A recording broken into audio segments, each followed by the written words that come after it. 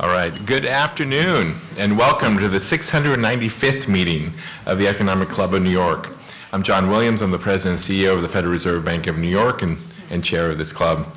Now, it's an honor to be with you here, uh, with all of you, to kick off the 2023 season here at the club.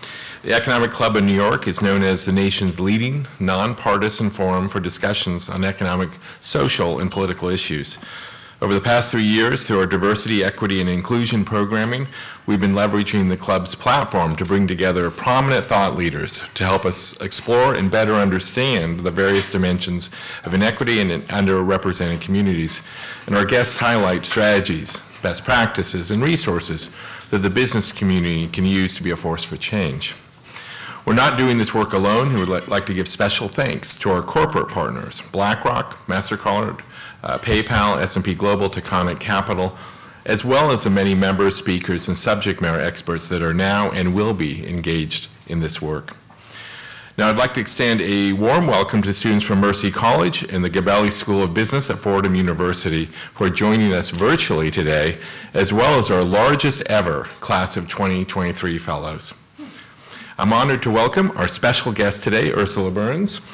Ursula is currently the chairwoman of Teneo and was chairwoman and CEO of Xerox Corporation. She joined Xerox as a summer intern in 1980 and has since held leadership posts spanning corporate services, manufacturing, and product development. As CEO, Ursula helped the company transform from a global leader in document technology to the world's most diversified business services company, spearheading the largest ac acquisition in Xerox history, the $6.4 billion purchase of affiliated computer services.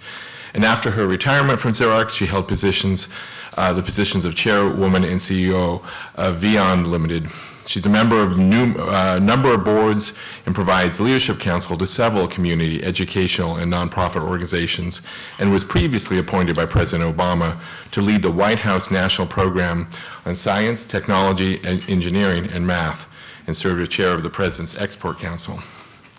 Now, the format today will be a conversation, and we're delighted to have club member and principal at Heyday, Fred Hochberg, as our moderator. So as a reminder, this conversation is on the record as we do have media on the line. So Fred and Ursula, if you're ready, I'm going to pass the mic to you. Well, thank you. Thank you, John. So Ursula took 695 meetings to I, I was, I, I, when he said 695, I was like, okay, I thought I was early in the cycle. I guess. We, felt, we felt kind of special, but we're not. feeling, I guess they got ran out of people, so we got to 695. Yeah. So um, uh, we'll try and do the best we can. Okay, so uh, we're going to do about 30 minutes, just the two of us, and then we'll open it up. Uh, and uh, if I had my way, I could just sit and talk to Ursula for two or three hours, as we've often done. So, one, uh, part of the base of this book, and to sell books today, I mean, that's part of, it's probably against every club rule to do this, but this is a spectacular book. Um, I both read it and did the Audible. Actually, Audible lost all my notes, so I had to reread it to get all my notes back. But it is a great book. So if you have not read it, and it's now even in paperback. I went to buy one at Barnes & Noble today, but they were already sold out. So uh, you can get it from Amazon or online. They'd be thrilled to sell it to you. Uh, Ursula and I actually met, uh, I checked, we met in 2010 when she was co-chair of the President's Export Council. Um, and as part of that, she took a delegation to Turkey, um, which I missed, and as a result, I am not mentioned once in this book. not a single mention. The vice chair of Exim Bank, who over there, she gets beautiful mention, but I sorry, was left sorry. at the curb. So, um, just to set the stage here. Um, so I thought we would talk a little bit about Ursula's background, her personal life, time at Xerox, um, and as John mentioned, uh, has been very eloquent on issues around diversity, equity, and inclusion. Uh, did a recent uh, interview on CNBC about that. We'll talk about that and kind of where we see the future. And we should wrap up around 4.30 or something like that, so. So maybe you could just tell me, tell everybody briefly, because it's an unusual title, where did the title come from? Yeah, my, my uh, mother, um, I'm one of these typical immigrant, poor immigrant black kids. My mother came over from Panama She was a single mom. She wasn't single when she came, but by the time she landed here and got settled, my father had exited stage left. Uh, she, high school diploma, pretty standard, literally poverty-stricken um, immigrant. We lived on the Lower East Side of Manhattan. And she had one set of assets in the world, and she made that clear to us. That she had one set of assets, and it was my brother, my sister, and I. And that she, her job was to make sure that we became assets to the world, positive assets to the world. So she would, she came up with all these crazy statements, which when I was living through them, you know, all you could do is tune them out and say, this is like, do I have to hear this again? You know, and one of them was, God doesn't like ugly. She say that continuously. She would say, um, the world doesn't happen to you, you have to happen to the world. She said, it's uh, where you are, it's not who you are. And remember that when you're rich and famous. Now, for my mother to say, and remember that when you're rich and famous, is such a bizarre thing because this was before the internet, before anybody knew about Rich and Famous. I mean, how do we know about Rich and Famous? And she had absolutely no idea that I would be sitting here. Actually, it wasn't even, I had no idea I'd be sitting here, so I know she didn't have any idea that I'd be sitting here.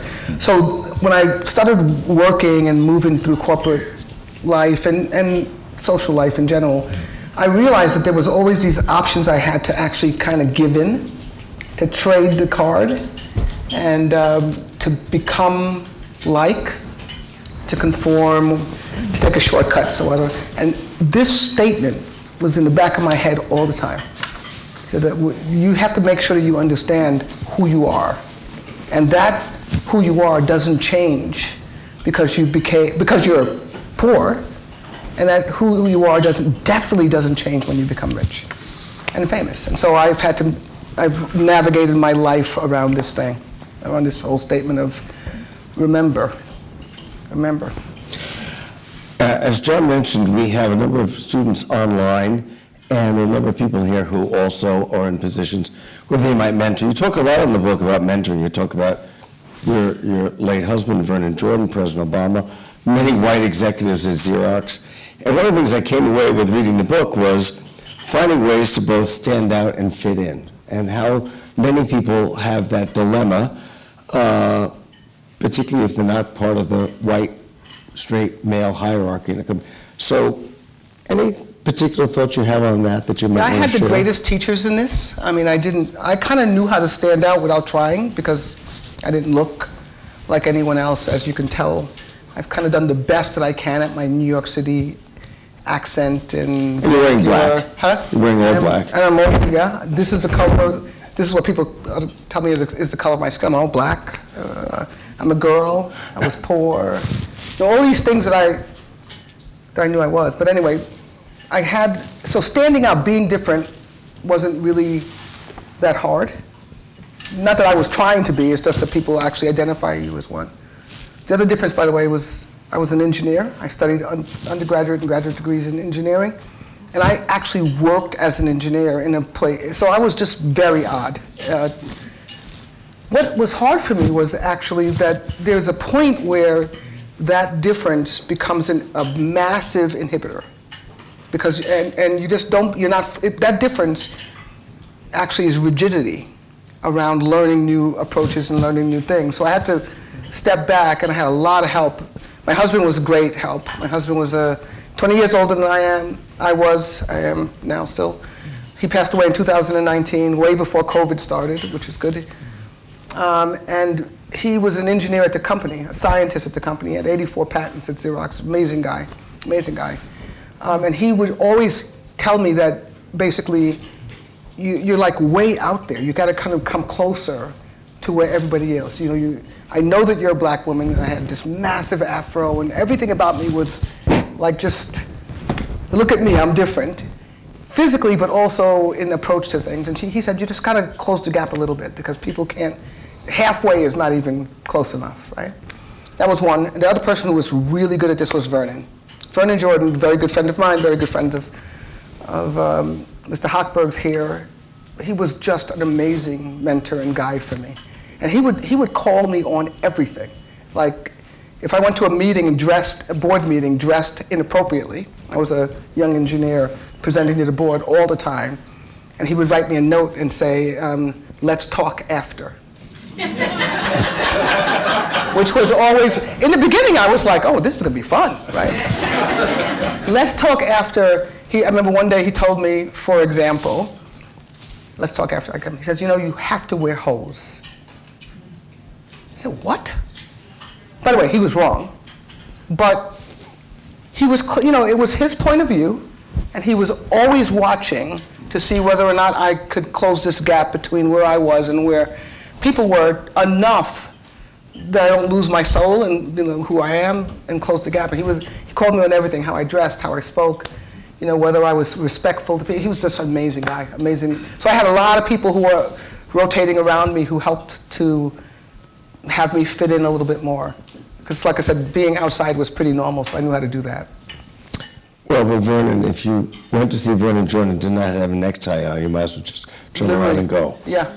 We had a, we had a lunch for him um, two weekends ago at the Alfalfa Club. He, he used to put on this lunch, and we sent out the invitation. Came and I, I, I said to them in the invitation something like, dress as you may, or something like business casual. I got there and realized, oh my God, you know, the man's dead. He's passed away last year he's looking down at this room. So I literally sent out an email to everyone saying, please, please, wear a tie. find a tie, find it. He's not even here, but please wear a tie. And just about everybody did. He had one person who didn't. It was Jamie Dimon, by the way, so I guess. but everybody wore a tie because he, was, he called it like he saw it. Like I said, he was not always correct, but he was clear-minded and always in my best interest. Always in my best interest. So actually that fits in your role you got to the C-suite and CEO of Xerox very in an unusual way, not through finance, not through law, uh, but through manufacturing. So that also made you somewhat of an outsider amongst your peer group of Fortune 500 other CEOs. Can you talk a little bit about that? Because that, that was very different than at a Boeing or a GE or companies like that. Yeah, I think more engineers should be CEOs, by the way. We would have probably more. Noted. Yeah. More logical thought. I, I, you know, I just went to be, I became an engineer. How did I become an engineer? Because I was good at math.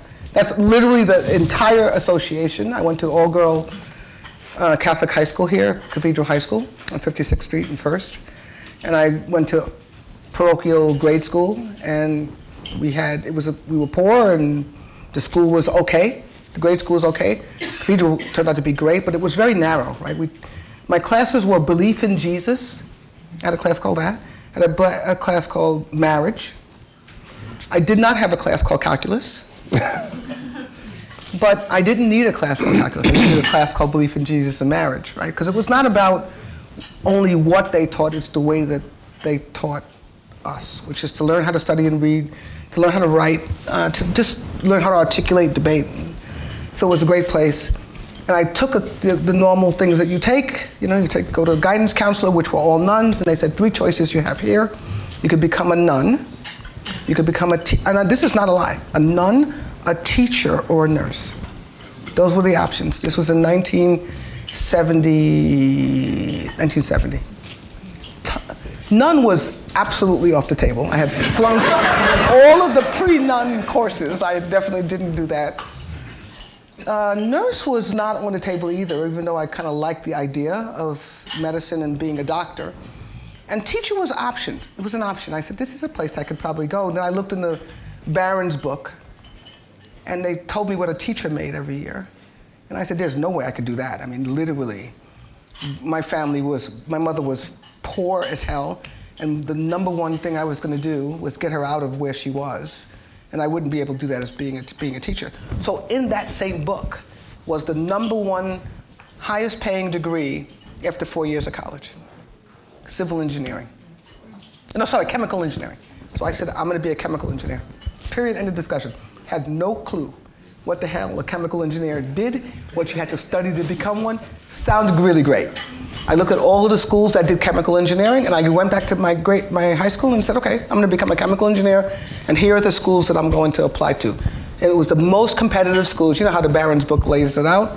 Those were the eight I was going to apply to. I actually applied to 11, most of them are like, I actually ended up getting into all but two, all on this one program called the Higher Education Opportunity Program, which means that you had potential, but you hadn't taken any of the precursor classes. So they stuff you in these things over the summer to catch you up.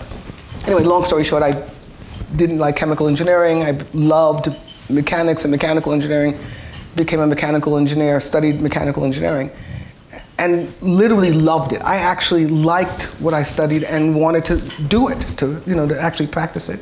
And I went to Xerox. I worked at other places in the summers before that.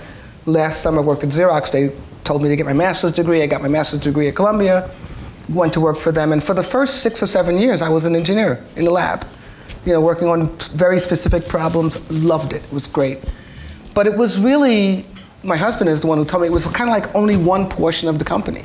And I knew nothing about the company. I knew absolutely no idea what the heck we were doing out there, who we were selling to, how we made money, who the leadership of the company was. That was during a time when you couldn't Google who the CEO who the CEO was. You had to go to a you know annual report and look right. up the leadership team. There's no way to really tell them we didn't have computers. It was just a strange, a different time. It was the last century. The last century. It was literally the last century, right?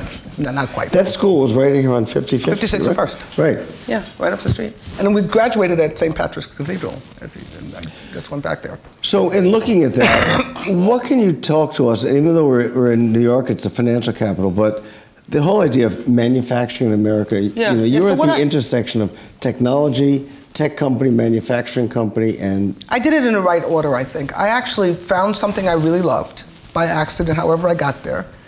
Um, did it for a while, so I, you know, and understood what it take to do it. So, you, so I knew a lot about the inner workings of the company. Didn't have any um, thought about running the place or even understood that kind of a structure, and stayed in that world for four or five years, and then got plucked out primarily because I was vocal about things, about the way things were, not, you know, like how our labs were organized or staffed, for example, how women, how few women we had, how few black people we had. This is well before, uh, this is when we still call things affirmative action, right? We didn't call it diversity, equity, and inclusion, we called it affirmative action. So I was fairly outspoken in these areas, and that, that different, that ability to speak out got, my, got me on the radar of some executives at Xerox. I had no clue who they were, and they were like white guys. And they were all from the Midwest. And so I was, I was, you know, I was dedicated to stay in engineering because I was really good at it, and I had kind of made my name, and I liked it a lot. And this one guy pulled me and said, you, you should learn more about the company. My husband said that too, but he wasn't my husband. I was flirting with him, so I didn't, you know, didn't, didn't take any of his advice. I just kind of you know, was flirting with him. This other guy. That was then. You don't do that anymore. You, you don't flirt anymore? Well, that was now with co-employees. It's Got a, it. well, back. Thank God I lived back then. you don't think I went through that back then? Anyway, he told me to come up and kind of talk to him. We got into a big argument in a big meeting. He asked a question. Somebody asked a question about why we're hiring all these these women and these black people. Literally, that was the question. Why are we hiring all these women and black people? Because it, he thinks it's lowering the standard of the company. This individual asked in this very large meeting. And the person who answered the question was a guy named Wayland Hicks. And Wayland said, answered it really nicely. And then I raised my hand. And it's really interesting. I learned early if you're the only black person or black woman in the room and you raise your hand, guess what? They generally call on you right? All you have to do is raise your hand, and it's really interesting that you can see who you are because you don't look like everybody else. Raise my hand, Wayland. Wayland called on me, and I said, you know, I'm absolutely insulted that you answered this question.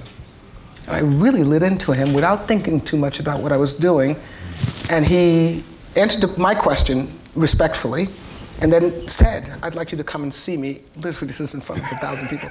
I'd like you to come and see me um, next week and my husband, who wasn't my husband then, said, the worst that can happen is that you're going to have to find a new job. So this, you know, this I'll bet, I'll bet good yeah, probably get fired. Anyway, the great news was that this guy um, took an interest in me, and he said, you, did, you said the right thing, but you said it the wrong way. And you're going to have to learn as you go through your career how to say things in a way that people listen to you. Right? And that was, that's another lesson that was amazing. Because you don't want people to kind of you know, put up defenses on not the content, right? The content is what you want the, right. the focus to be on. So it's good. So being an engineer was really interesting because most of the people became they were marketing guys or finance guys, a lot of legal guys running the company, running companies. And when you walk into a room and you don't actually know anything about the law, and you're not that interested in the finances, but you're interested in the way the company works or what they make to make money, you come with a completely different point of view. And it was, it's always been fun and interesting. Still to this day, there are very few engineers who run companies. Right. There should be more. Noted. um, one of the challenges uh, you spoke about in the book, or you wrote about in the book, and you just touched on, and that is to be a manufacturer, there's a lot of emphasis right now on reshoring, bringing manufacturing back, bringing supply chains back. Um, that's a challenge for global companies, a challenge for Xerox. You know, a lot of politicians think, well, why can't you make everything here and just export it? Um, so, can you talk about how you navigate that, which is very hard to do, and what do you see going forward? Because there is a certain deglobalization discussion going on right now. Yeah, it's a big deal right now. Um, it turns out when uh, I, I, write about this in the book, and Fred and I worked together for a couple of years because I was the vice chair and then the chair of the Export Council. He was the head of the Ex-Im Bank. The Ex-Im Bank, and we never got as much money as we should have from the Ex-Im Bank, but you know he was he was a good partner uh, nonetheless. And one of the discussions that was swirling around back then, and even before I even before back then, but back then and now, is this idea that we should make more things here and I always said, where is here exactly? Is here where we sell our stuff? Because if that's the case, we should probably make it everywhere in the world. Is here where we earn most of our profits or generate most of our revenues? That should be around the world as well. So this idea of here um, is a narrow perspective on what a business does. Right? We're domiciled here, and by the way, we have a huge amount of affinity and therefore leaning towards the shore that we're incorporated in. But we make, at Xerox, when I left, we made as much money outside of the United States as we did in profitability. Revenue for sure more outside the United States. Profitability probably about break even. So there's no way for me to actually say, go to Paris and say, by the way, I'm going to sell you my digital printing machines, and none of them are made in, in France. They're all made back in the United States. Just give me your money and I'll send it all to the US. So I think there's one, one problem is global companies are actual global citizens and have to actually operate on a global basis. That's one. The other one is that it doesn't make sense to actually financially to do it that way. I mean, it, literally there are better sources of X or Y or Z in other places in the world. And so you should go to those places to get the best source. What has happened a lot lately is that we've actually disconnected tax paying, um, profitability, a whole bunch of other financial metrics from where you're shored. And that's, we definitely have to fix this because there is, it doesn't make sense if you make all of your money in, or make most of your money in XYZ and you have a way to pay taxes to none of the people, right? Which is, very rarely happens that you pay taxes to none of the people, but you actually pay low taxes to the place that you have the biggest presence. Right. And that's a big challenge.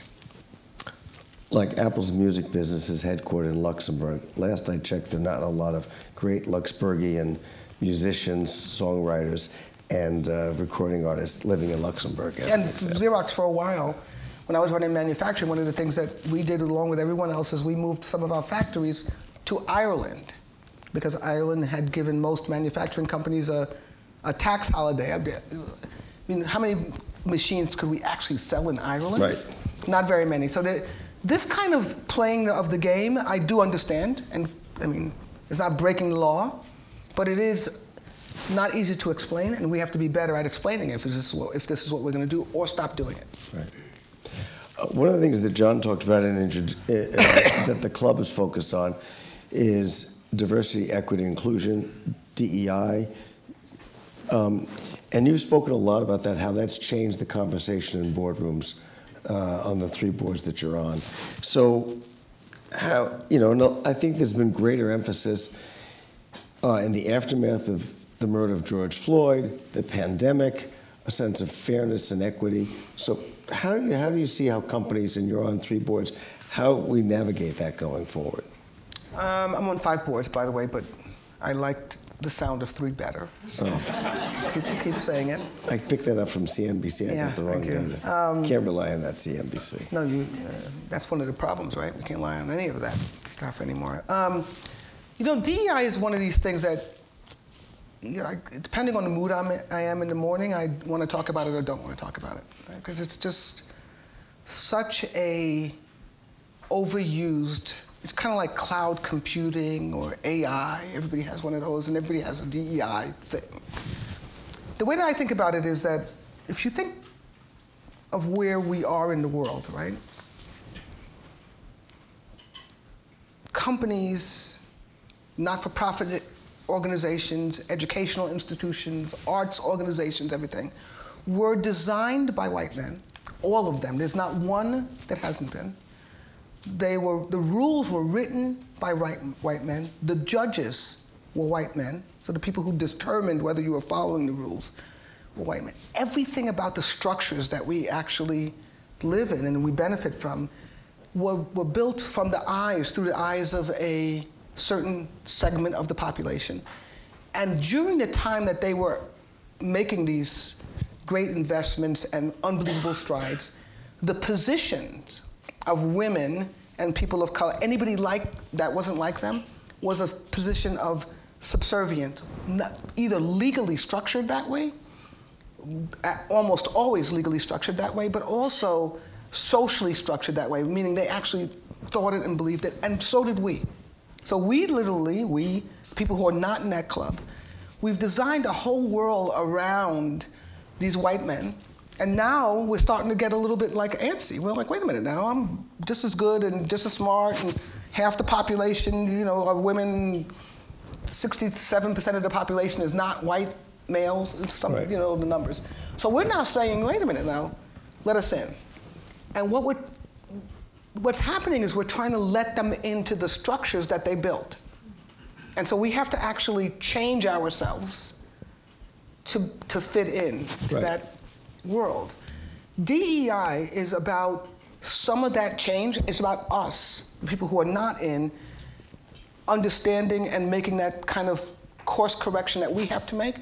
But it is as much and more about this structure, these structures understanding that they are unfair, unbalanced, that they are not set up for us.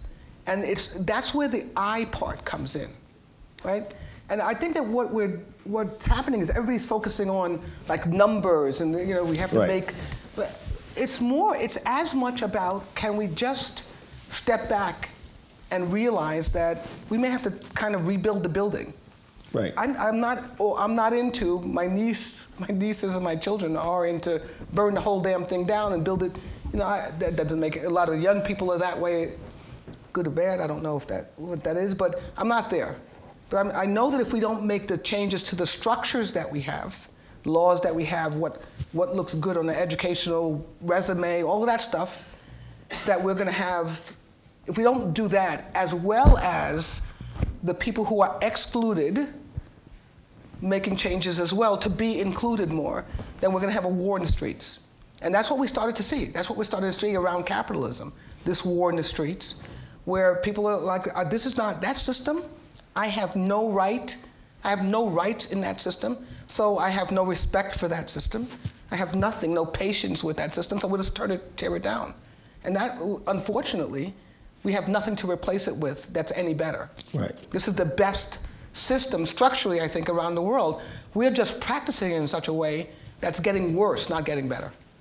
So, my whole thing about DEI is, yeah, this is not a program. This is not. Right. Let's let's figure out a program. It's not an exercise. It's not an exercise. This is a literally step back, and we have some mental problems. We have to actually kind of go through counseling. We have some structural problems. We have to change the bathrooms, the you know the elevators. We have law problems where literally women are dis- functionally discriminated against. And if you're black, we are not even allowed to teach your history in certain states now, because it's not American live in. history. Yeah, the state that we.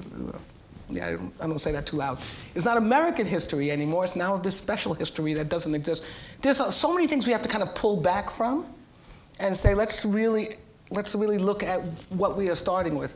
And I say to most CEOs who, who are still white men, the vast majority are still white men, be careful here, right? Because what they're, they can wink at DEI by, and, and try to do it without changing anything. That's right. basically what people are trying to do. Let's just increase the numbers. Let's make sure that those women go to these types of schools. Let's make sure that they, they study these kinds of things. Let's make sure that they do team sports so they can be more. All of this stuff is not fixing the problem. It's stuffing us into a system that's not built for us. And I think to get the most out of us, we have to do both things on both sides. We have to, we have to make some adjustments and we have to understand, the white men have to understand that they're victims just like we are of a history that they did not build. So they have to actually be prepared to change it. Right. Most of them are not. Right. I think we're going to open up for the floor. right here in the. A microphone is coming to you. And uh, just for everybody, because we have some online, obviously your name and your affiliation. Sure. Thank you, Fred. Bal Das from BGD Holdings. Uh, I, I, found profoundly resonant your reflections on DE&I. Uh, you know, as an Indian American, I was thinking of one of the teachings I had taken away from Mahatma Gandhi, which I try to pass on to our kids also, is to be the change you want to see, which is structurally what your reflections are. You know, I just wanted to get your thoughts on as this process is going to play out, uh, there is this overriding narrative of meritocracy that I, in business, uh, across the globe, by the way, particularly in uh, without naming people, when I raise the topic, they say, "Look, I am blind. I just get the best talent." So this narrative of meritocracy, uh, it seems to me, when I hear you, it sort of is that shoehorning. So since you don't fit, I just pick the best. I'm not looking at color, I'm not looking at uh, gender. So there should be a amount of intentionality in practice. And appreciate your thoughts on it. Thank you. Yeah, I mean, there's some there are some buzzwords that are unbelievably racist. One of them is this, and sexist, is this word meritocracy. Think about what, I, as I said earlier, rules made by you guys, referees by you guys, the de definition of merit, right? This, this ladder, all around the structure, please realize this, that when this structure was defined, people who look like me could be owned by other people in this country. People who look like me could not vote. Women had, so this idea of meritocracy is kind of an interesting, I call it a buzz, uh, uh, whenever people bring it up, it, you know, I literally, my hair goes up and I, my back goes up because I know what it's about. So I say the following. I just started with two partners, a private equity firm, which is what I do more than Teneo. Teneo's cool, I love it, great company. Uh, fortunately, has a CEO, and I'm the chairperson, and I love being the chairperson, like being a grandparent, right? so, so it is unbelievably good, and I love it. I, am I'm, I'm a principal in a private equity firm, a great one that we just started called Integrum. And what we tried to do at this firm, we started it two years ago, was me and two partners. We wanted a firm that tore down all of the stuff that I talked about the rules. I mean, some of the financial rules we can't change but everything about what, is, what does good talent look like. No, they didn't know. They, you know, the good talent. What I was told, they have to go to Wharton or one of these 13 schools, and then go work two years in this kind of a thing. Private equity company being a slave, or investment bank being a slave, and then they leave and they go to another place and they go through all of this. I'm like, what? These are, this is training the worst things about people. Why don't we get some other people?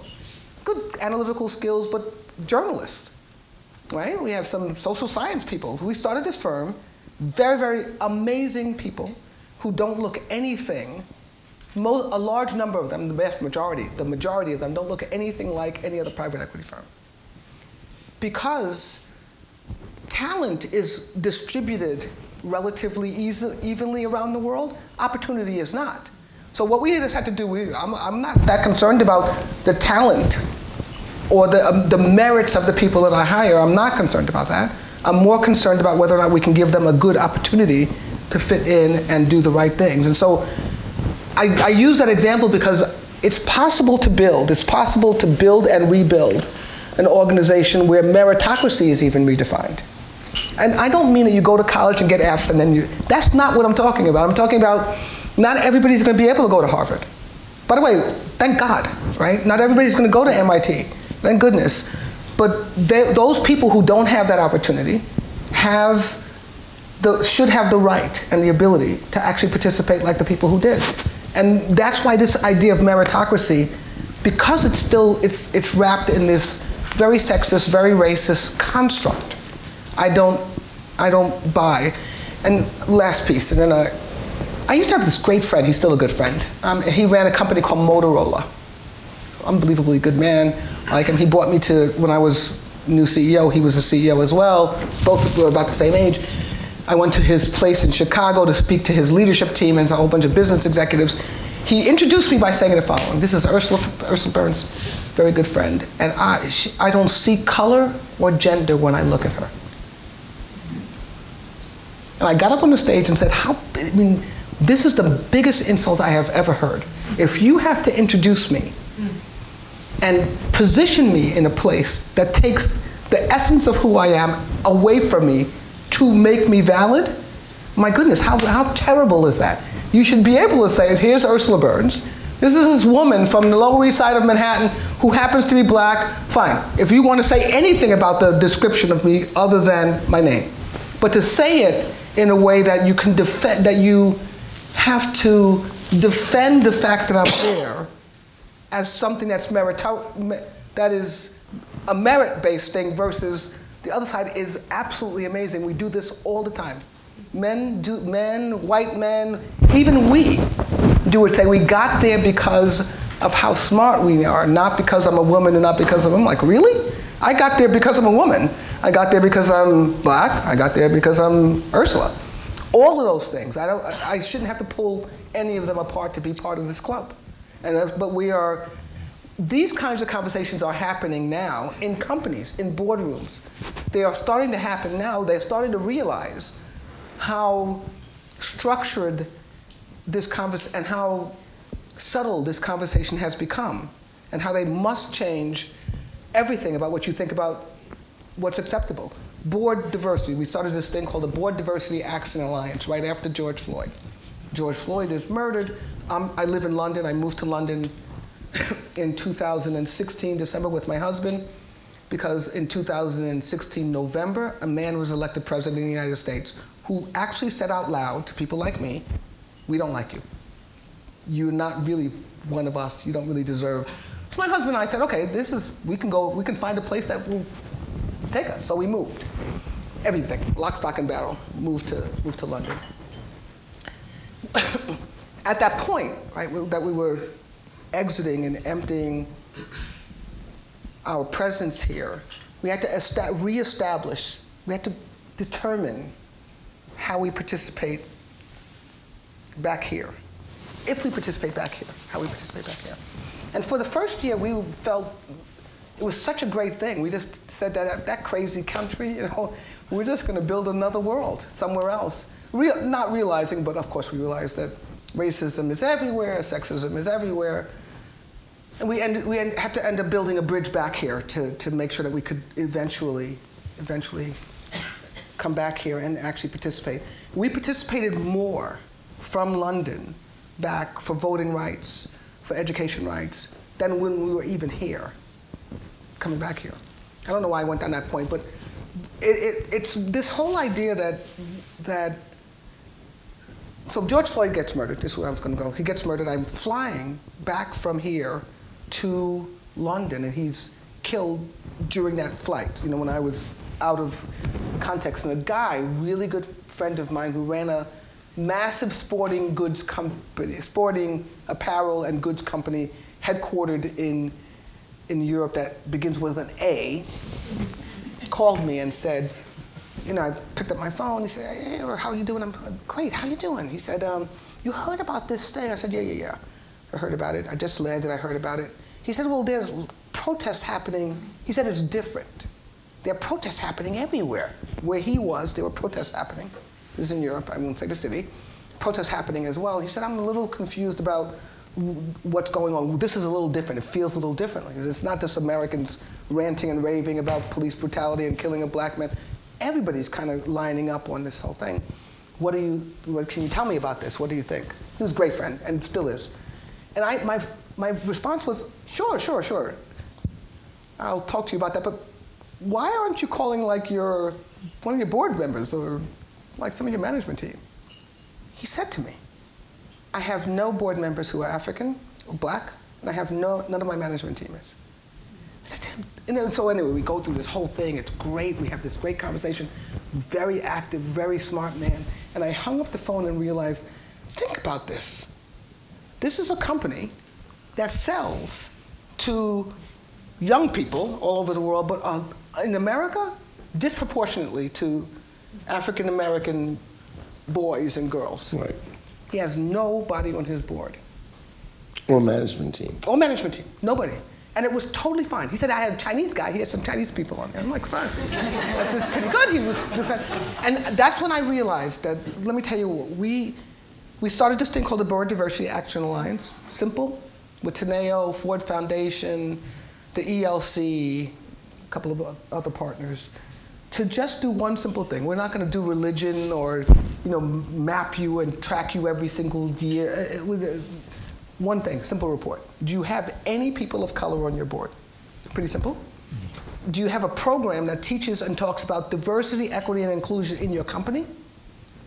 And the third is if you have one of anything, are you on path to get the, sec the second? Simple, simple, simple. And we're not going to come back and ask you every year. We're not going to put you in the newspapers and you know with league table, tables. And then we're going to turn it over to your consumers and to your employees and to your investors. And those three groups are the people who can judge you from this point forward. By the way, we find out to get the data that I just said, you would think, oh, you just type in diversity on boards or something and out would come numbers. Guess what? No numbers anywhere. By the way, private equity and venture, zero numbers, zero tracking, at least in public companies, you can get the annual report if they have pictures, and if they don't have pictures in the annual report, there's a reason. There is a reason. But anyway, if you have pictures, you can actually make a guess, right? I can say this is a female, even though that's even getting hard, but you know what I mean. And you can you can kind of make a, a guess about ethnicity. But that's kind of what we had to do. Because you send it out and say, can you report this? And the first thing is, what are you going to use it for? people didn't self-declare. So anyway, this whole thing about the fact that you actually can, we can govern the whole universe, consumer goods, tech, government structures, everything, without having anyone that doesn't look like you participating, is another fallacy that I think that we're starting to learn. That boards know this. Boards know this. They're still struggling on how to fix it, but they're, they are aware that to make their company future ready, they better do some things. It's hard one last piece on this. I was on Andrew Ross Sorkin, who a great, great guy. He interviewed, was interviewing us about this BDAA thing, and he said, "So, you know, these people are going to be really upset about you taking their seats." I said, "Their seats is an interesting characterization. They own these seats. We actually even think of it as their seats, right? The women are going to take some of their seats." It's not their, they're human being seats, the last I checked. So they're taking some of our seats by definition, but there's a, it's a strange, the entire construct. My whole point here is think differently about the entire construct. There is no righteousness and permanence in this kind of a thing. Sorry, guys. As John comes up, out, in addition to this great book, I hopefully got a taste, uh, there is a book called The Tyranny of Merit, which I is love exactly I love this book. what you're talking about. and Tyranny of Merit is wonderful, uh, wonderful, it's, wonderful It's very worthwhile read as well. John, back to you. Well, this is an amazing conversation, and you're right, Fred. This could go on for many hours, and I wish we had could do that, but we are out of time now. Uh, and many thanks to both of you uh, for spending uh, this time with us. So this is um, the, the point which I talk about all the events we've got coming up. Uh, we've got an exciting year ahead of us. On February 22nd, we've got Richard Thaler, Nobel laureate uh, from the University of Chicago uh, Booth School of Business. On March 1st, we have a luncheon with L'Oreal CEO Nicolas uh. Joining him in conversation will be uh, former chair of the Economic Club of New York, Marie Jose Kravis. We'll have a luncheon with Jen Easterly, is director of the Cybersecurity and Infrastructure Security Agency on March 23rd. Uh, that sounds very timely. And Robin Hayes, president and CEO of JetBlue on March 29th. And then on April 4th, we'll have our annual Women in Business Conference uh, together with the Consul Generals of Canada and France. And we'll be announcing speakers soon, so be on the lookout for that. And then on April 13th, we'll have a webinar with Dr. Ella Washington, organizational psychologist, professor at Georgetown University. And finally, uh, we'll have Lee Ainslie uh, luncheon, uh, luncheon with Lee Ainslie, founder, founder and managing partner of Maverick Capital on April 13th. So when I say finally, that's for the next few months. Of course, we have a lot of other events we'll be, we're in the middle of planning for the rest of the year. So I'd like to take a moment to recognize the 361 members of the Centennial Society who are joining us today as their contributions continue to be the financial backbone and support for our club. And thank you for all of those who attended virtually and for those of you in the room, please, for those of you in the room, please enjoy your lunch. Of course, people virtually, uh, attending virtually can enjoy their lunch too. Uh, and we look forward to seeing you again soon.